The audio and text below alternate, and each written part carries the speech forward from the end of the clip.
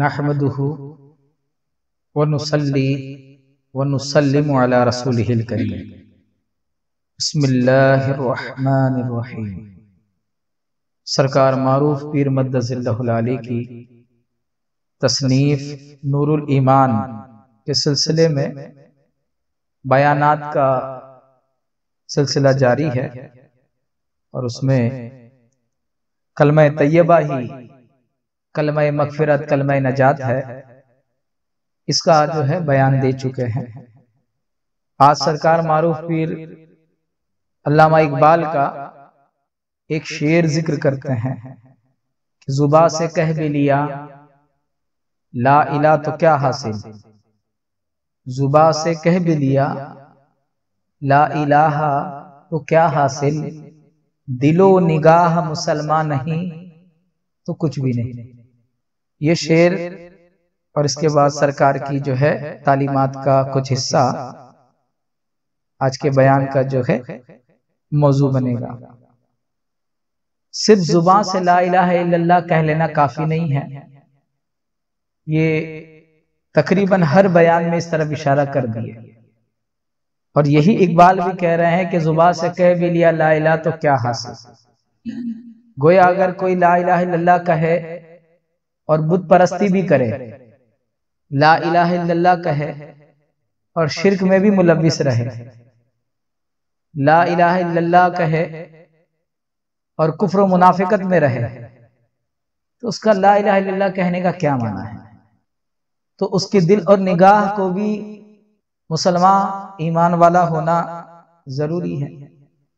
اسی کو بزرگان دین فرماتے ہیں کہ من قال لا الہ الا اللہ الف مرتن اللہ بالتحقیق فہو کافر۔ کہ کوئی کلمہ طیبہ لا الہ الا اللہ ہزاروں مرتبہ پڑھ لیں بغیر تحقیق کے، تو وہ کافر ہی رہ جائے گا۔ کیونکہ کلمہ طیبہ کی جب تک تصدیق نہیں ہوتی، تب تک ایمان نہیں ہو سکتا۔ اور کلمہ طیبہ کی تصدیق بغیر تحقیق کے ہو ہی نہیں سکتی۔ اور یہی عنوان ہے۔ کہ کلمے کی تصدیق کرنا ہے تو پہلے کلمے کی تحقیق کرنا پڑے۔ گا کیا مطلب ہوتا ہے تحقیق کا؟ تحقیق کا مطلب ہوتا ہے حق کو جان لینا حق کو جو گہرائی سے معلوم کر لینا سچ کو جو ہے اچھی طرح سے معلوم کر لینا جس چیز کی تحقیق کر رہے ہیں اس چیز کی سچائی کو جان لینا۔ تو جب تک کلمے کی تحقیق نہیں کریں گے تب تک کلمے کی تصدیق بھی نہیں ہو سکتی۔ بلا تحقیق تصدیق بالقلب ممکن ہی نہیں ہے۔ اگر آپ بولو گے کہ بھائی مجھے اس بات میں کوئی تحقیق نہیں ہے۔ اس چیز کے بارے میں مجھے کچھ بھی پتا نہیں ہے۔ لیکن میں جو ہے اس چیز کو اس کے لیے سرٹیفکیشن دیتا ہوں۔ میں اس کے لیے سرٹیفکیٹ دیکھتا ہوں کہ یہ صحیح ہے۔ لیکن مجھے معلوم نہیں ہے اس کے بارے میں کچھ۔ لیکن میں سرٹیفکیٹ دے رہا ہوں۔ تو یہ سرٹیفکیٹ دینا۔ یہ دھوکے بازی ہے۔ یہ جھوٹ ہے یہ دگا ہے۔ جب آپ کو جس چیز کی تحقیق ہی نہیں ہے تو آپ اس کی تصدیق کیسے کر سکتے جب آپ کسی چیز کے آپ نے ویریفیکیشن کی نہیں ہے تو اس کی سرٹیفکیشن بھی آپ نہیں کر سکتے ہو۔ جسے انگلش کی اے بی سی ڈی بھی نہیں آتی ہے۔ اگر وہ کسی کو انگلش کا ماسٹر ہونے کا سرٹیفکیٹ دے، تو وہ سرٹیفکیٹ کس کام کا ہے؟ وہ اصلی سرٹیفکیٹ ہے کہ جعلی سرٹیفکیٹ ہے؟ وہ جعلی سرٹیفکیٹ۔ وہ کچھ کام کا نہیں ہے، اسے خود کو اے بی سی ڈی کی بھی پتا نہیں ہے۔ اور وہ سبق آپ کو جو کہ وہ آپ کو سرٹیفکیٹ دے رہا ہے کہ انگلش میں ماسٹر ہے یہ۔ تو بغیر تحقیق کے تصدیق ہو ہی نہیں سکتی۔ تصدیق کے لیے تحقیق ہونا ضروری ہے۔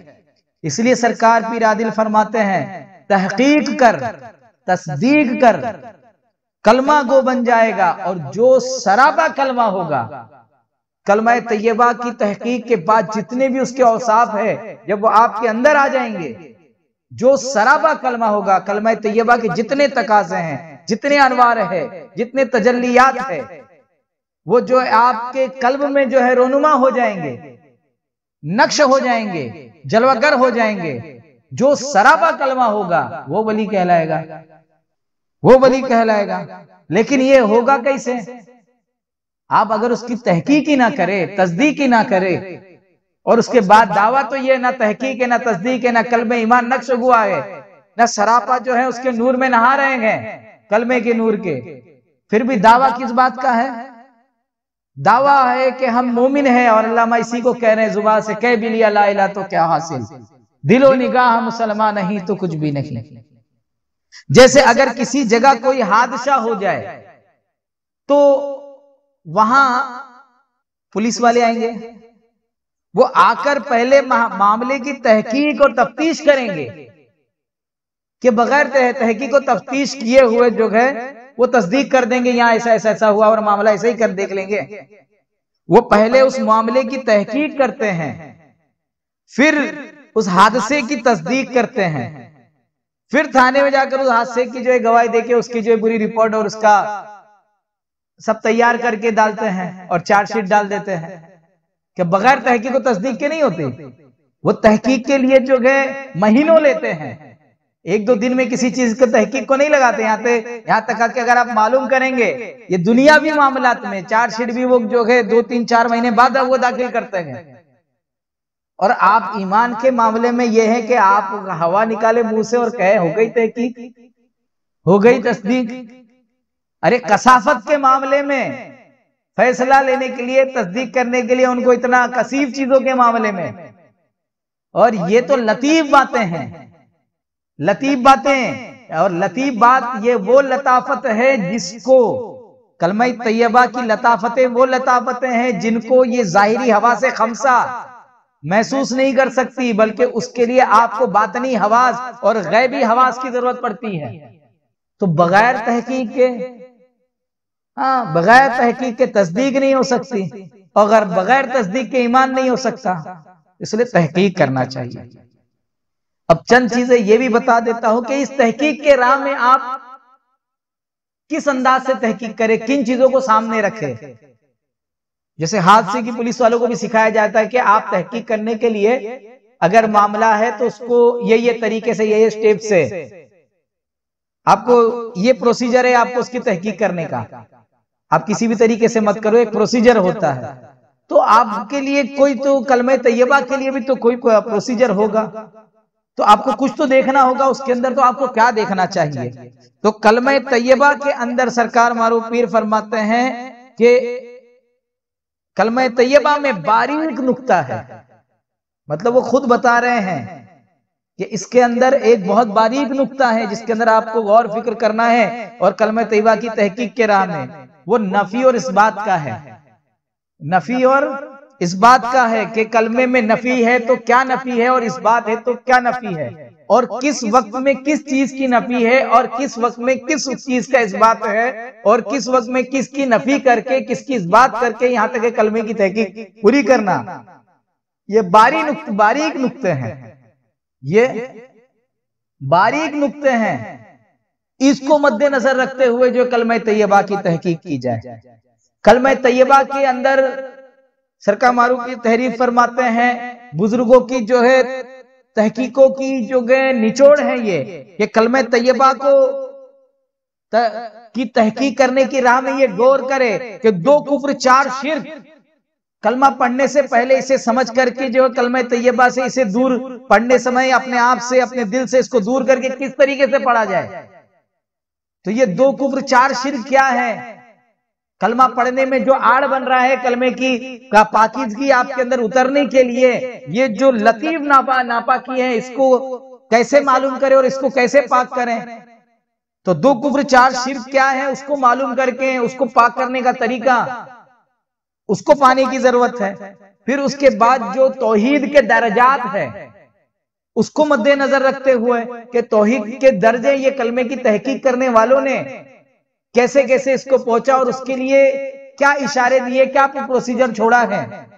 اس کو سمجھنے کی ضرورت ہے۔ جب آپ یہ نفی اس بات یہ چیزیں، یہ تمام چیزوں کے ذریعے جب آپ ان پروسیجروں سے گزر کر کے کلمہ طیبہ کی تحقیق کرو گے اور پھر تحقیق کے بعد جب تصدیق کرو گے، تو پھر آپ کو وہ باتیں نظر آئے گی جو اولیاء کرام سے سر، جو سر انجام ہوئی ہے۔ جو اولیاء جو اولیاء کرام نے کیا گیا باقاعدہ آپ کو پتا چلے گا۔ کہ اولیاء کرام یہ جو تصدیق کے بعد جو ان سے معاملات پیش آئے ہیں اس کی حقانیت آپ پہ کھل جائے گی۔ کیونکہ یہ جو گئے تصدیق کیے ہیں اور ہم جو نقلی تصدیق کر رہے ہیں، اس کی تو کوئی حیثیت ہی نہیں ہے۔ ہم نے تحقیق ہی نہیں کی تو تصدیق کیسی بات ہے؟ تو اللہ تبارک و تعالی ہم کو تحقیق اور تصدیق کرنے کی توفیق عطا فرمائے۔ کیونکہ حضور اکرم صلی اللہ علیہ وسلم جو ہے حضرت عمر فاروق اعظم رضی اللہ تعالیٰ عنہ سے فرماتے ہیں کہ مومن وہ نہیں جو مسجد میں جمع ہوتے ہیں اور زبانی طور پہ لا الہ الا اللہ کہتے ہیں۔ اے عمر رضی اللہ تعالیٰ عنہ، ایسے کلمہ کو حقیقت سے بے بہرا اور بے خبر ہیں۔ یہ مومن نہیں بلکہ منافق ہے کیونکہ زبان سے تو کلمہ لا الہ اللہ کا اقرار کوئی بھی کر لیتا ہے۔ اقرار کرتے ہیں لیکن کلمے کا اصل معنی سے ناواقف ہے۔ انہیں خاک بھی پتا نہیں ہے کہ کلمہ سے اصل مقصود کیا گئے یعنی لا الہ الا اللہ تو کہہ لیتے ہیں، لیکن ان کو کیا خبر کہ نیس سے کیا مراد ہے؟ اور ہست سے ہے تو ہے کیا، نہیں تو نہیں کیا؟ ایسے شکی طور پر کلمہ کہنا شرک ہے۔ اور شرک شک کے عین کفر ہے۔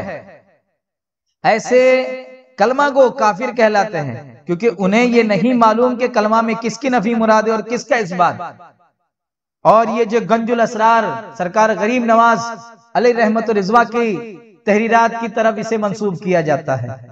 یعنی یہ بات ہے کہ تحقیق کے بغیر تصدیق نہیں ہو سکتی اور تصدیق کے بغیر ایمان ہو ہی نہیں سکتا۔ مولا ہمیں تحقیق کیا ہے اور اسے کرنے کی جو ہے توفیق عطا فرمائے۔